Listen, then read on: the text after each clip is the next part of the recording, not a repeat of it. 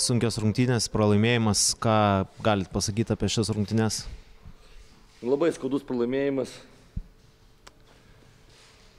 A, todėl, kad tikrai e, didžiąją rungtynių dalį labai gerai žaidėm. Antroji pusė jau kada jie pajuto žaidimą, pakeitėm gynybą ir a, to dėka sugrįžom ir jau vėl buvom tarsi perėmę iniciatyvą. Na ir pačiam galė tiesiog pritrūko šiek tiek patirties.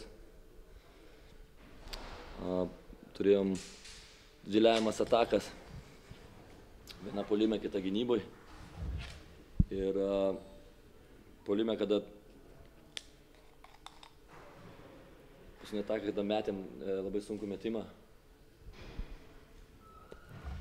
Tai ten tiesiog reikėjo sužaisti. Tena greičiausiai būtų baudavusi. Ir tada būtų mums likę laiko iki rungtinių galo.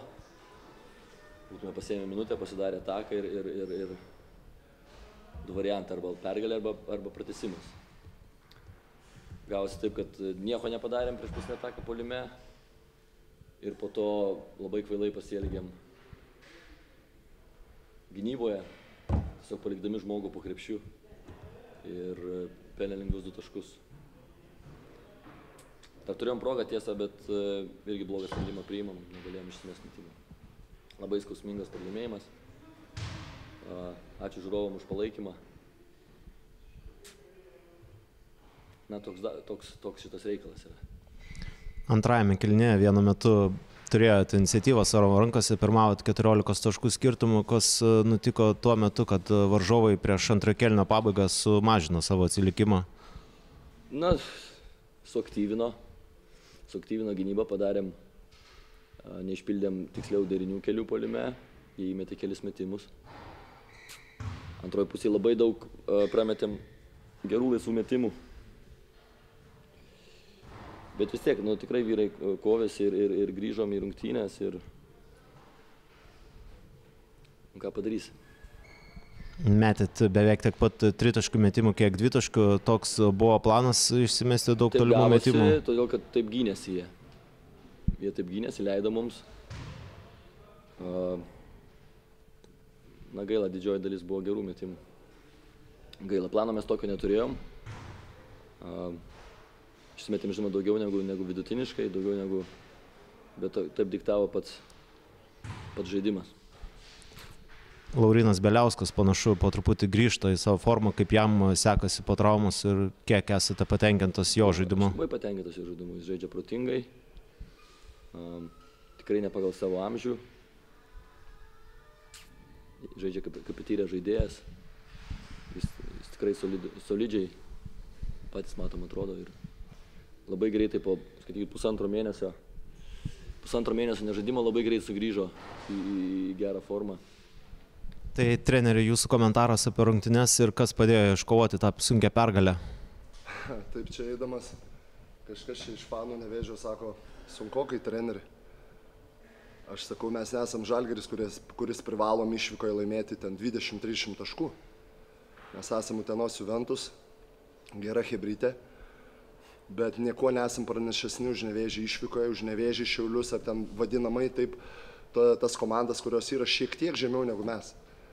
Tai mes gerbiam visus, labai gerbiam visus varžovus, tiek nevėžį, tiek šiaulius, tiek dzukiją, tiek, tiek visus visus. Tai ir, ir žinant istoriją, kad čia kryto Lietuvos rytas, Neptūnas, Lietkabelis, Sibet, tai man šiandien reikėjo plus vieno taško. Nes žinau, kad šiandien bus labai sunku. Klausimas buvo, kaip mano hebrytė uh, atvažiuos ir atsineš į rungtynės.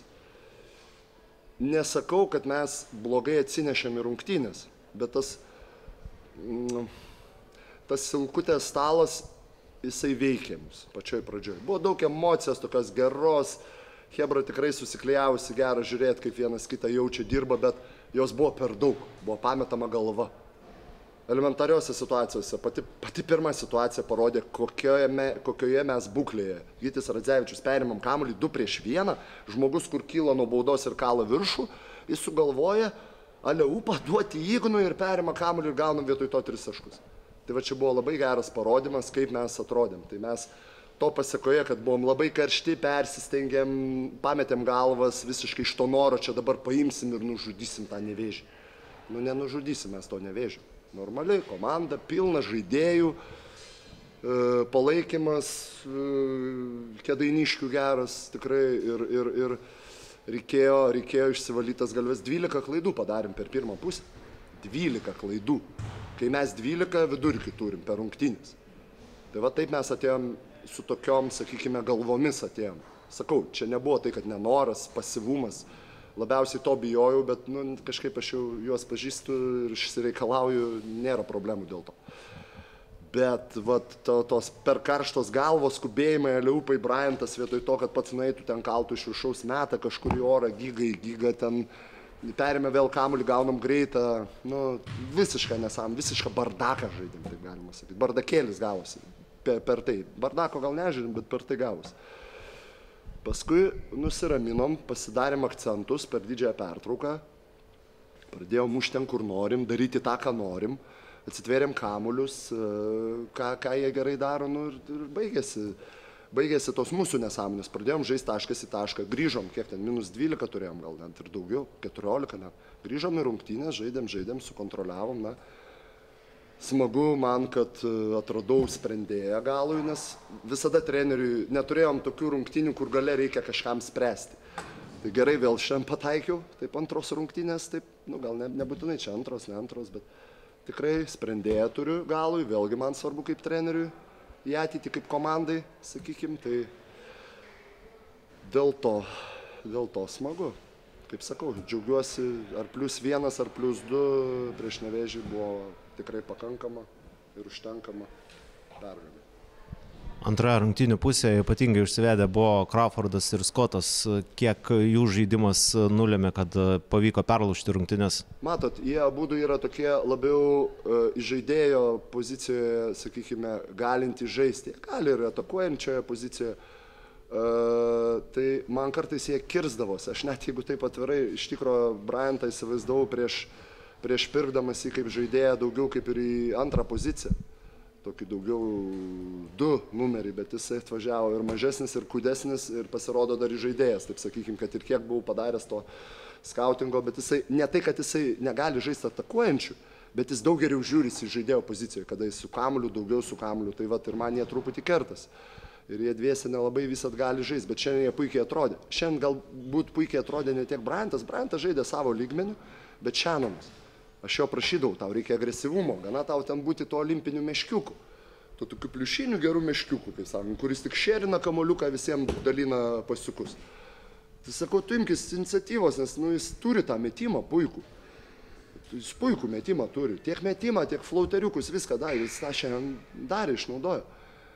Tai va, dar vienas dalykas, dėl ko man smagu šiandieną. Dėl to pačio Šenono Skoto, kad jis parodė potencialą ir polime ko aš iš jo laukiau, laukiau, laukiau, nu galų galę sulaukiau ant, ant, ant, ant, ant stebuklo, ant kalėdų. Ar ta paskutinė ataka buvo, ta, buvo tokia, kokia ir planavote per minutės pertraukėlę, ar ten viskas gavosi? Taip, taip, absoliučiai.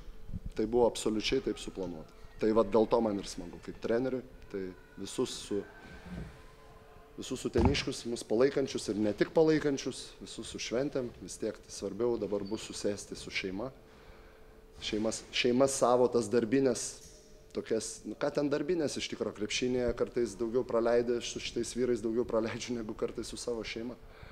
Tai čia negali pasakyti, kad čia darbinė šeima, o ten šeima, bet aišku, norisi dabar grįžti į šeimą, keletą dienų turėti laisvų ir neišvengiamai ateis vėl darbas.